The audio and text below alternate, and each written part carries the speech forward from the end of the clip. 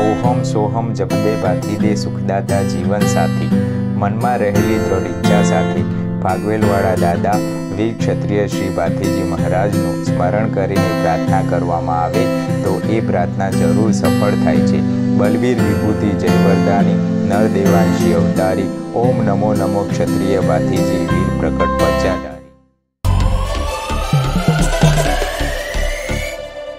नमस्कार दोस्तों, मैं चंद्रकांत, आप सभी का हमारी चैनल में स्वागत करता हूँ। मैं अभी खड़ा हूँ फागवेल में। हम लोग फागवेल आए हैं तो फागवेल पर्टिकुलर गुजरात में कठलाल तालुके में स्थित है और अहमदाबाद से करीबन 75 किलोमीटर की दूरी पर स्थित है। और डाकोर से अगर आना है तो 30 किलोमीटर की दूरी पर स्थित है। यहाँ पे पहुँचने के लिए आसानी से अहमदाबाद से बस अवेलेबल होती है, क्योंकि ये मेन अहमदाबाद गोधरा जो हाईवे है अ, उसी हाईवे पे स्थित है और ये हाईवे से थोड़ा बहुत अंदर चलेंगे तो हम मंदिर तक आसानी से पहुँच सकते हैं। तो अभी हम अंदर जा रहे हैं और दर्शन करते हैं और आपको भी दर्शन करवाते हैं। तो चलिए मिलता हूँ आगे।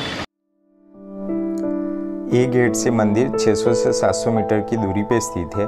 हम फोर व्हीलर या टू व्हीलर लेके मंदिर के आगे तक पहुँच सकते हैं और आसपास की जगह में पार्क कर सकते हैं। गेट से मंदिर वाले रास्ते पे बहुत सारी शॉप बनी हुई है। जैसे मंदिर के पास पहुँचते हैं तो आसपास की दुकानों से हम श्रीफल प्रसादी फूल वगैरह ले सकते हैं। अभी हम फागवेल मंदिर पे पहुँच गए हैं। यहाँ पे श्री बाथी जी महाराज के दो स्थानक है, एक फागवेल गाँव में और दूसरा फागवेल से छः किलोमीटर दूर खाखरिया वन। अभी हम फागवेल में हैं। यहाँ पे श्री बाथी जी महाराज का मुख्य मंदिर है। लोगों देवता स्वरूप में पूजते हैं, बहुत ही आस्था रखते हैं। अभी हम मंदिर में हैं। जैसे अंदर आए तो हमने दादा के दर्शन किए और मुख्य मंदिर फागवेल में दादा का ये स्वरूप विराजमान है। श्री भाथीजी महाराज के मंदिर में, यानी फागवेल में, हर पूर्णिमा के दिन नॉर्मल करता ज़्यादा लोग आते हैं। और दिवाली और देव दिवाली के समय में तो फागवेल में मेला रहता है, क्योंकि दिवाली का दूसरा दिन, यानी गुजराती ईयर मुजब, हमारा नया साल, यानी एकम सुद कार्तक का दिन। इस दिन पे श्री भाथीजी महाराज का जन्म हुआ था। तो ये दिन पे फागवेल में और जितने भी दादा के मंदिर होंगे, वहाँ पे भजन कीर्तन रहता है और नई दजाएँ चढ़ाई जाती है। दर्शन करने के बाद राइट साइड से बाहर निकलेंगे तो ये जगह दादा की समाधि की जगह है।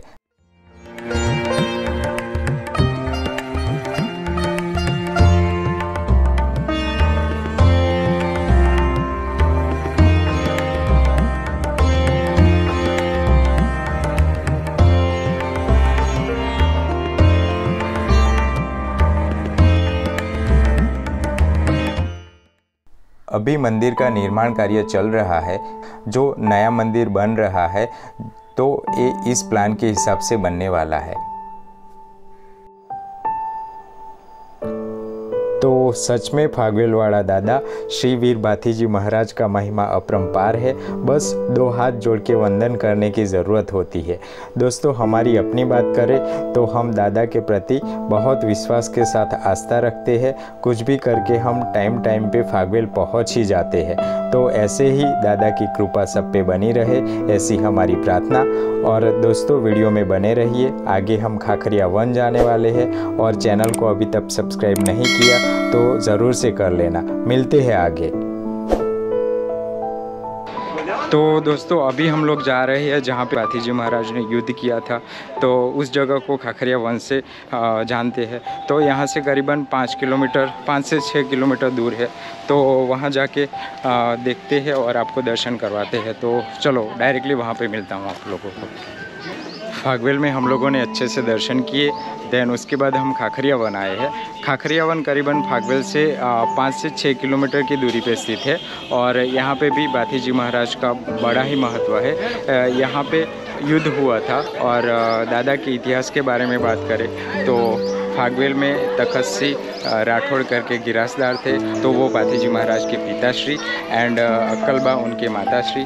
बाथी जी महाराज के परिवार में उनके चार भाई बहन थे तो बाथी जी और हाथी जी और दो बहनें, यानी सोनलबा एंड बांजीबा। बाथी जी छोटे थे, तब से ही बहुत बड़े पराक्रमी और बहादुर थे। जब भी वो गौ माताओं को चराने जाते थे तो तब भी छोटे थे तो नाग देवता के साथ खेलते थे। तब से उनकी रक्षा करने लगे। उसके बाद समय निकलता गया और बाथी जी महाराज बड़े हुए। उसके बाद कंकुबा के साथ उनका विवाह हुआ। जब विवाह हो रहा था तो एक प्रसंग बना गौ माता की रक्षा के काज उनको जब मंगल फेरे चालू थे तो वो मंगल फेरे तोड़ के बाथी जी महाराज गौ रक्षा के लिए निकल पड़े। और ये इसी जगह पे युद्ध हुआ था। युद्ध हो रहा था और तब दरमियान उसी टाइम पे पीछे से बाथी जी महाराज पे वार हुआ। उनका सर कट गया और धड़ लड़ता रहा। तो वही जगह है, गौरक्षा के कारण अमर हो गए। इतिहास में बाथी जी महाराज का बहुत बड़ा नाम है और बहुत आस्था है, बहुत बड़ी आस्था है और देवता के स्वरूप में पूछते हैं। सबकी मनोकामना वो पूर्ण होती है और मेन मंदिर फागवेल में है। तो जहाँ पे हमने दर्शन किए और आप लोगों को दर्शन करवाए और वहाँ से थोड़े बहुत इस तरफ़ आते हैं, यानी पाँच से छः किलोमीटर अंदर की साइड आना होता है। तो वहाँ पे ये जगह पे युद्ध हुआ था और बाथी जी महाराज ने यहाँ पे जान गंवाई थी। तो ऐसे ही बाथी जी महाराज इतिहास में अमर हो गए। ये था बाथी जी महाराज का इतिहास और ये खाखरिया वन में दादा का स्थानक है। श्रद्धालु फागवेल में दर्शन करने के बाद खाखरिया वन में भी दर्शन करने के लिए आते हैं। दादा की गाथा की बातें कभी ख़त्म नहीं होगी।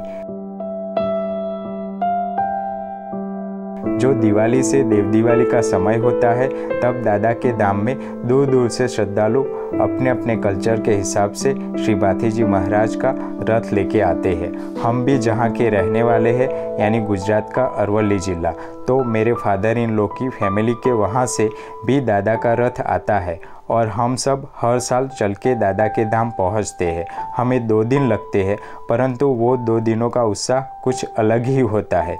जैसे फागवेल पहुँचते हैं तो सारी थकान गायब हो जाती है। दोस्तों, इस वीडियो का यहाँ पे ही एंड करता हूँ। जय श्री कृष्ण, जय पाथी जी। और ऐसे ही नए नए वीडियो के साथ आपको मिलता रहूँगा। अभी के लिए इतना ही। अगर चैनल पे नए हैं तो सब्सक्राइब ज़रूर से करना। तो मिलते हैं अगले वीडियो में।